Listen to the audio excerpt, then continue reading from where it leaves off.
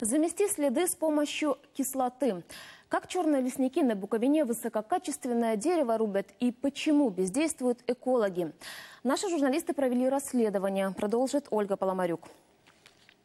Это лесополоса вдоль дороги к райцентру Вижница. Здесь сплошные пеньки. Несколько дней назад неизвестные срубили десятки деревьев. Ось приблизно 70 сантиметрів, якщо точніше 68, 69.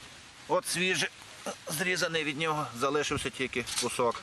Общественный активист Дмитрий Курик показывает, что осталось от столетнего дуба. Лучшую часть дерева дельцы вывезли, оставили верх ствола и ветки. Но больше всего Дмитрия поражает то, как расправились с пнем. Его облили кислотой, чтобы казался ветхим. Щось виглядає на кислоту, на якесь масло. Вони забирають тільки те, що е, саме цінне від дуба.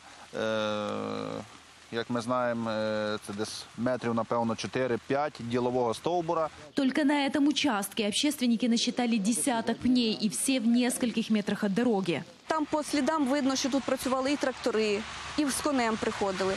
Але для того, щоб зробити це поза людською увагою, без людських очей, це робиться вночі, це робиться крадькома, це робиться тихенько.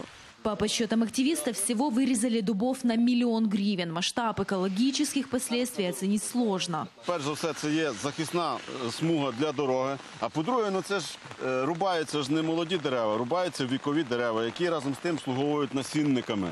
Ми просто генофонд знищимо із-за того, що комусь захотілося заробити. А вот экологи о незаконной вырубке ни сном, ни духом объясняют, чтобы провести расследование, должны сначала получить письменное заявление от местных жителей. рослинного ну, природозаповідного фонду рослинного світу. Всі ми що ми не можемо бачити,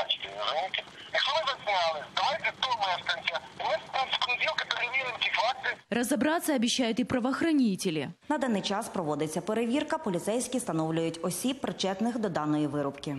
Но пока одни думают, а другие ждут заявления, деревья продолжают рубить. И если дельцы не снизят темпы вырубки, трасса вскоре останется без ветрозащитного барьера. А значит, зимой на этой дороге не избежать снежных заносов.